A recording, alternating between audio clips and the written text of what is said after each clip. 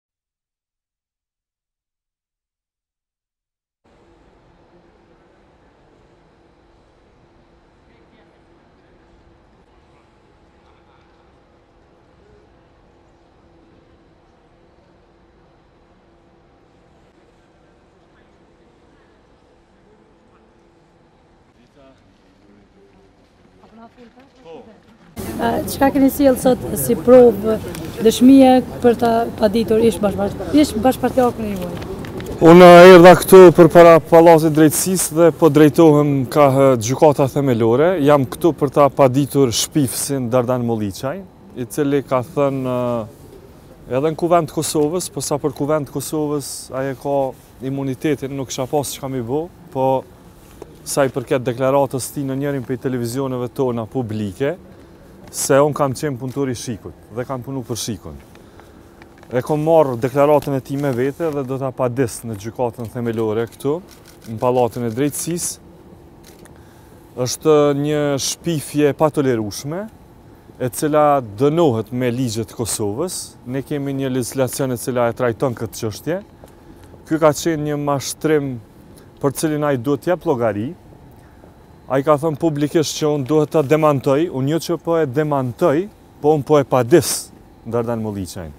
Dhe i bëj thirrje nga Pallati i Drejtësisë, t'i qet krejt çka ka për SHIK-un, edhe krejt çka ka për mua. publike është kjo ftesë. Nëse ka diçka për mua dhe për SHIK-un, që unë kam qenë punëtor i SHIK-ut, e ftoj publikisht Dardan Molliqajn t'i qet. Përndryshe procedura vazhdon mezi, mezi po pres që të përballem në gjykatë për pretendimet e tij. Çka më takon mua me ofru është vetëm deklarata e tij e shpifjes. Unë nuk kam tjetër çka me ofru. A i besoni gjykatës marrë parasysh që tash u afru PSD-ja me pushtetin? Unë e di që në shumë aspekte gjykatat janë të kapura. Mirëpo kjo është një kontest i thjesht civil, kjo është i karakterit civil, kjo është një shpifje, ne në parlament kemi miratu ligj për shpifjen, një person i cili thotë diçka për të cilën nuk ka argumente dhe nuk ka mbulesë, nuk ofron fakte, po është shpifje, ai në Republikën e Kosovës dënohet.